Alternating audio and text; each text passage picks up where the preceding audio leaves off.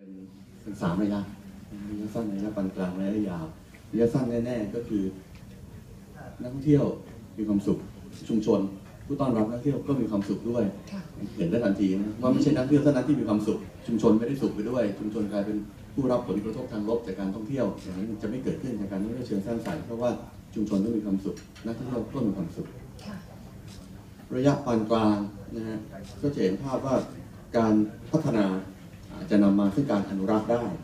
ไม่ได้แปลว่าพัฒนาอนุรักษ์ไปด้วยกันไม่ได้ การพัฒนาคือว่าถ้าการพัฒนามาใน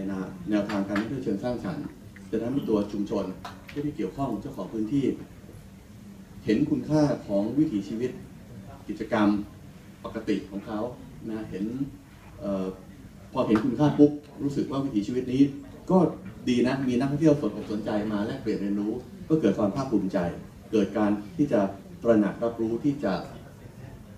เก็บรักษาอนุรักษ์แล้วก็ยิ่งทำให้เข้มข้นยิ่งขึ้น เพราะต้นทุนการท่องเที่ยวเชิงวัฒนธรรม นั้นยิ่งใช้ไป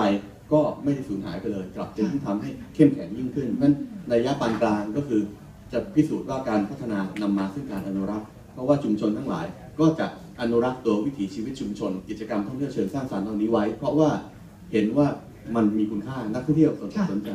ระยะยาวที่สุดนะครับ ถ้าท่านนึกภาพ AEC นะประชาคมเศรษฐกิจอาเซียน ซึ่งอาจจะฟังดูไกลเกินไปนะครับนึกภาพว่าถ้าเกิดเงินทุนนะไหลเข้ามาอย่างเสรีนะครับ ก็คงจะซื้อไปได้ทุกอย่าง ไม่ว่าจะเป็นโรงแรมที่พักร้านอาหาร สปากิจการขนส่งของที่ระลึกทั้งหลาย ซื้อได้หมดนะฮะแต่มีสิ่งหนึ่งที่ไม่มีขายคือชุมชน มั่นใจว่า 13 กิจกรรมท่องเที่ยวเชิงสร้างสรรค์เหล่านี้ไม่มีไว้เพื่อขายค่ะเพราะฉะนั้นแล้วก็จะเป็นจุดแข็งของเรานะเมื่อเมื่อ เข้าสู่ AEC เพราะว่าเราเตรียมความพร้อมของเราไว้ก่อนนะเรา